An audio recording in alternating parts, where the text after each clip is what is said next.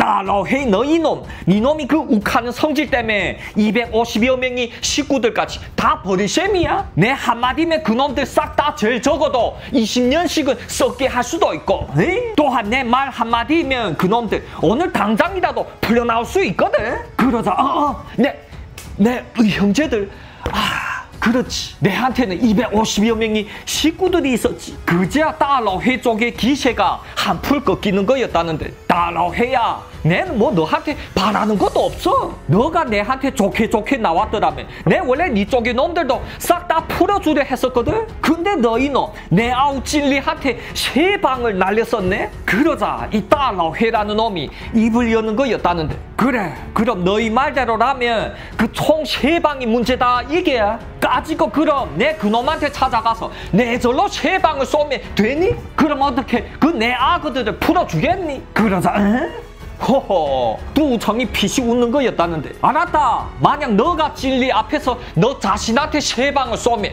일은 끝이다 그럼 내 책임지고 너희 부하놈들을 풀어주지 뭐. 그러자 저쪽에서는 오케이를 외치는 거였다는데. 내 지금 선전에 있거든. 까짓거 내내 곧바로 광저우시로 돌아갈 테니. 그때 한 보자 그렇게 바로 이튿날 네 뚜청과 따즈 왕롱장 쪼웨난 등등은 이 한 차집에서 차를 마시고 있었다고 하는데. 근데 이 뚜청이란 놈은 자꾸 자꾸 손목시계를 보면서 요 안절부절 못하는 게 아니겠습니까? 그러자 청거 뭡니까? 뭐 지금 기다리는 사람이라도 있어요? 하지만 이때 삐리삐리 전화가 오는데 예 청거 내 친국장입니다. 하하하하. 청거 따로회 잡았습니다. 청거의 말대로 이놈이 정말로 선전에서 광저우시로 오는 고속도로를 탔던데요. 그러자 그래 하하하.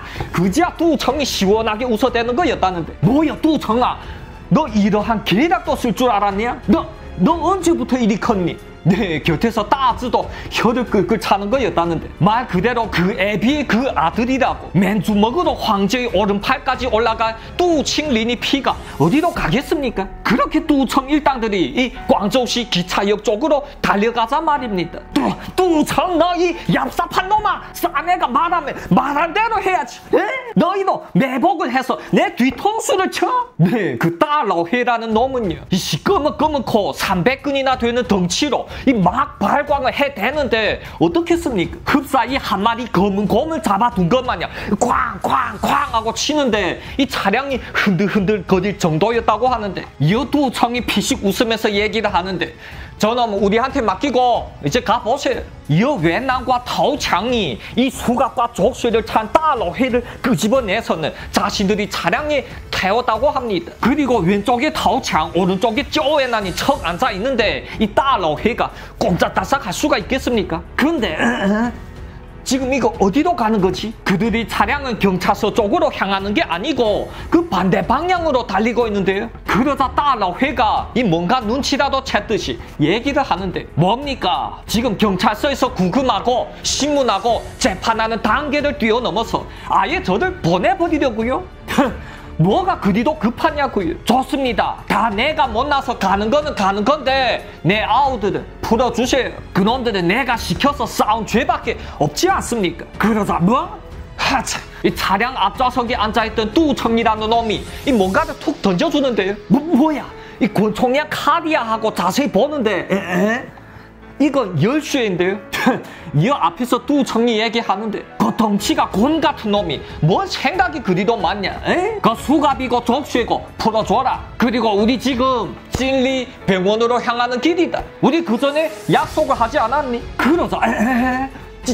찔리 병원이요? 그럼 그 전에 약속대로 하는 겁니까? 그러자 따라 해가 이 더더욱 어리둥절 해놨다고 하는데 아, 아니 그럴 거라면 왜 또 경찰들을 풀어서 이렇게 잡아들이냐고요 네 그러자 뚜청이 얘기하는데 왜기 왜겠냐? 에? 이놈을 잡으려면 내 언제든지 잡을 힘이 있다고 겁을 주는 거지. 뚜청 이놈은 무조건 남이 꼭대기에 있다는 걸 증명해야 시름을 넣는 놈인데 그렇게 진리 병원에 도착하자 이 이게 누구야?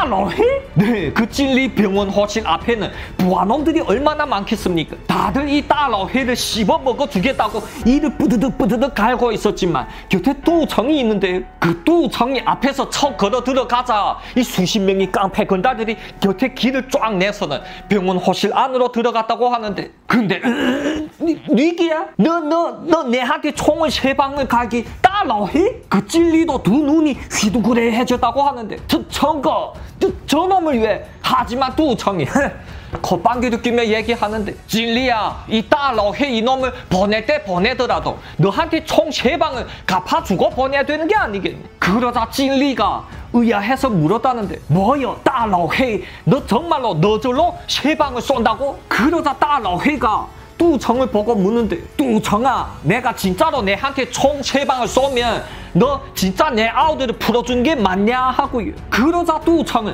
그렇다고 봐야지. 야 웬나나 너 이놈한테 너희 권총 한 자루를 줘봐라. 그렇게 쪼웬나니 권총을 빼서 덜컥 장전까지 해서 주자. 네이 딸러해가 총을 받긴 받았는데 말입니다. 이 권총을 받아들긴 받아들었는데 아주 그냥 이 와들와들 떨려나는 거였다는데 이 다른 사람한테서 총을 맞는 것도 그런데 이 저절로 자신한테 쏴야 하다니. 그렇게 총이 와들와들 떨리자 이 딸러해라는 놈은 몸에다 딱 갖다 대고 땅 하고 쐈다고 하는데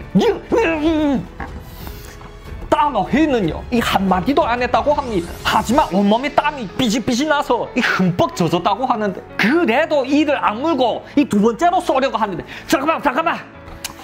그만해라 이 누군가 스톱을 외치는 거였다는데. 그럼 이건 과연 누구였을까요? 그 뚜청이었을까요? 네 이는 놀랍게도 뚜청이 아니다.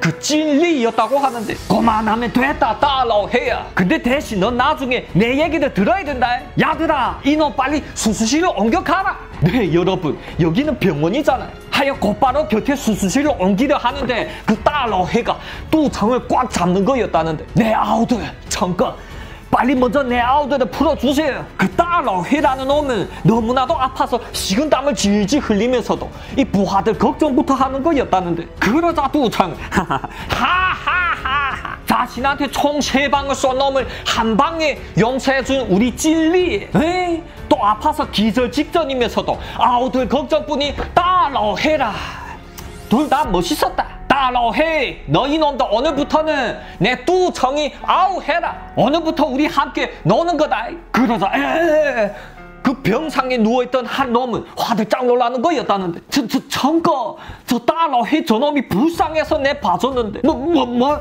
수하에까지 넣으려고 하십니까? 그, 그, 그럴 필요까지 없는데. 네 찔리는 자기도 모르게 이 조직 내부에서 강력한 경쟁자 한 놈을 들여오게 되었다고 하는데. 물론 그 뒤에 뚜청이 지국장한테 전화 한 통을 하자. 딸러해 부하놈들은 싹 다 풀려났고 말입니다. 이어 그 뒤에 한동안은 찔리와 딸러 이두 원수진 놈이 한 병원 호실에 있었다고 하는데. 하여 심심해 난 찔리가 얘기하는데. 따로해 너희 놈 너 저번에 뭐라고 했었니? 너희 아우들을 풀어주면 너 나중에 뭐든지 하겠다며. 자 뭐 바쁜 것도 아니다. 그냥 찔리 큰형님이라고 불러봐라. 하지만 이 따로해라는 놈이 눈가리를 히득히득거리는데 개소리 제치지 말라 그것 뚜청 형님한테 한 소리고 너랑 뭔 상관인데? 왜 달통이 안 되면 지금 나가서 한 붙던가? 에? 뭐, 뭐 너, 너희 놈. 네, 여러분 그 뒤부터 찔리와 딸러해는